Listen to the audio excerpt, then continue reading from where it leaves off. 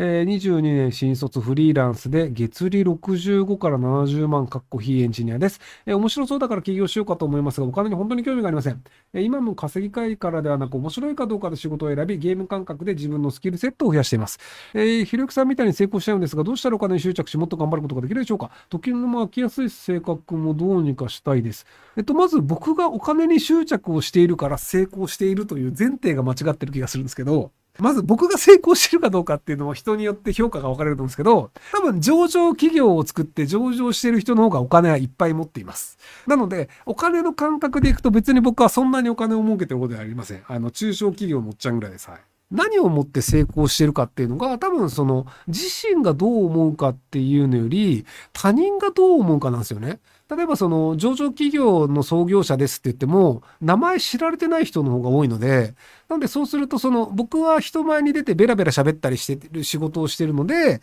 知名度があるので成功してるというふうに思われるっていうのがあってなので本当にその自由なお金とか自由な金額があるかどうかっていうより多分その認知されてる人数がどれぐらいいるかっていうところで多分成功かどうかっていうのを判断してらっしゃるんだと思うんですよ。なのであラノさんはそのお金がどうこうではなくてて、多分その知名度っていうのを成功の概念だと認識されてらっしゃると思うので、なので、あの、お金使って知名度増やせばいいんじゃないですかね。僕の知り合いで DJ 車掌さんっていう人が、なんかインドネシアに行って4億円ぐらい金を使ってインドネシアで大人気 YouTuber になるわっていうので、今もあの、インドネシアでお金いっぱい使ってるんですけど、なので、あの、お金使うと結構人気者になれるんですよ。YouTube 日本でもあの、ヒカルさんっていう人とかが、あの、金持ち YouTuber っていう感じで、もう最近はもう使わなくなったんですけど、なんかそのいろんなお金を使ってお金持ちだから面白いでしょっていうので、動物園を作ろうとしてみたとか、なんかあの、馬乗ってドライブスルー行ってみたとか、遊戯王のカードいっぱい買ってみたみたいな、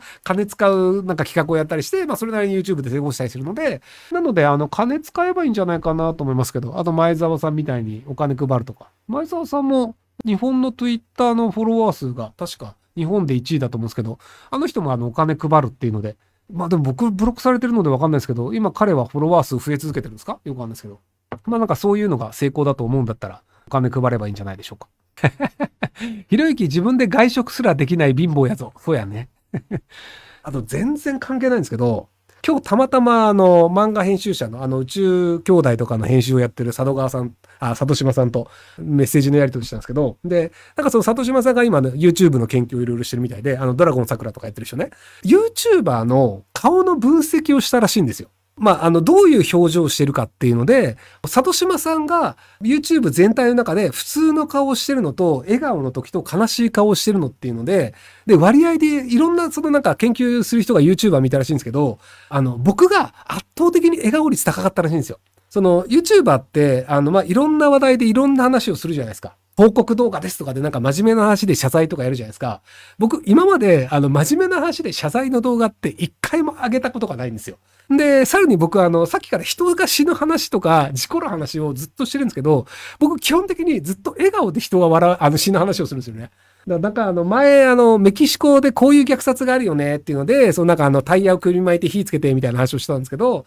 とかあのなんか魔女狩りの裁判で火炙りってこうやってやるんだよねっていうの多分切り抜き探せばあると思うんですけど、あれ僕ずっと笑顔でヘラヘラしながら喋ってるんですよ。っていうのがあって、あの僕基本的に笑顔率が異常に高いっていうのがなんかあの一応数値で出てきて、あ、面白いっていうのになったんですけど、あのその研究の、ちょっとまたもう一段階その研究の先があって、僕と話をしている人、対談をすると、その人にも笑顔の割合が高くなるっていうデータが出てきたんですよ。日経テレ東っていう番組で、あの、菅元首相と、その僕とあの成田先生、あの、イェール大学の成田先生と話をするっていう動画があったんですけど、菅元首相が動画で出てる時って、基本的に大体無表情なんですよ。ただ、笑いというのは苦笑いも含むってなると、僕結構その菅さんにひどいこと言ってるんですよね。あの、官房機密費いくらちょろまかしたのとか、あの、なんかもう一緒に引退しちゃえばとかっていうので、結構ね、あの、菅首相が苦笑いをしてるシーンが多いんですよ。なので、その結果、菅首相がその出てる動画が、僕と一緒にいると笑顔率が高いんですよ。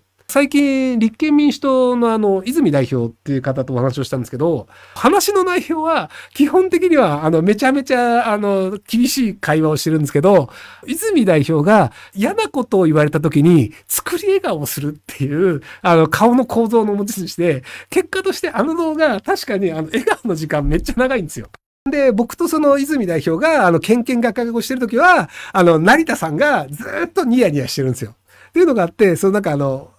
YouTuber で成功する理由はどういうの？みたいなのが、結構その、いろいろみんな議論するんですけど、笑顔が多い方がいいっていうのは、確かにその人間としては納得しやすいんですよね。やっぱあの、ニコニコしてる人の方が見やすいよねっていうんで、その結果として、その、苦笑いをさせたりとか、相手が作り笑いをするようなやつとか、そのなんかひどい話、悲しい話でも笑顔で話すサイコパスが成功するっていう、あの、本当にどうしようもない結論が出たっていうので、あの、僕としてはちょっと面白かったです。はい。なので、あの、YouTuber として成功したい方は、基本的にあの、ひどい話を笑いながらするっていうのができるといいんじゃないかなと思います。38歳女会社員頭悪い昇進者無能会社で自分の意見を主張することができずはいと申し訳ございませんくらいしか言えません。最近ことあるごとに悪者にされることが多くなってきて精神的に参っています。自分に品がない時にはきちんと主張したいのですがいざその場面になると出てきません。ひろきさんみたいにズバズバいるようになりたいです。練習すればできますかまたどんな練習をすればいいか教えてください。えっと無理です。不可能ではないんですけど、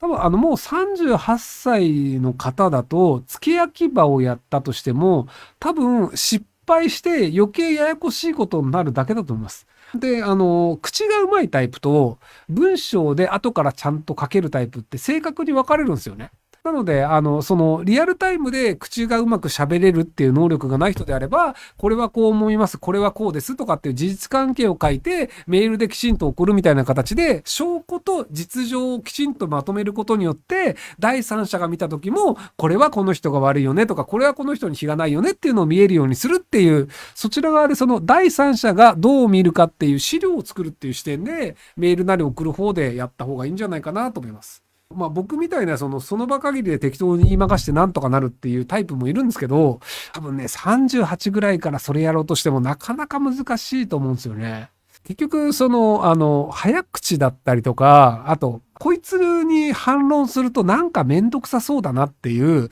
空気を作るみたいなのも結構大事だったりするんですよ。なんですけど、多分そのあんまり口うまくないよね、この人ってもう思われちゃってる人の場合って、なんかノリノリで反論返ってきちゃったりするんですよね。で、逆にその僕みたいなめんどくさい人の場合だと、なんかここで反論すると余計にややこしいことになるからやめとこうみたいなので、相手が引くっていうのもあったりするので、中学の古典の授業で、金の兜と黒い革のなんかあの鎧を着てるおじさんの話があって、すげえ強い武将だったんですよ。で、なんかあのね、弟子かなんかが、あの、戦争で、一回でいいからその金の兜と、その黒い、あの、革の鎧着せてくんないみたいな話になって、で、まあ、その武将めちゃめちゃ強かったんだけど、じゃあ一回で行く、一回だけだよって言って、その自分の兜と鎧を貸してあげたんですよ。その人もともと強かった人なんですけど、ただ、そのじゃあ自分の鎧と兜を貸して、で、そいつはなんか、あ、強いやつが来たって言ってみんな敵は逃げてるんですよ。で、逃げてる時に、あ、あいつなんか弱そうだなって言って、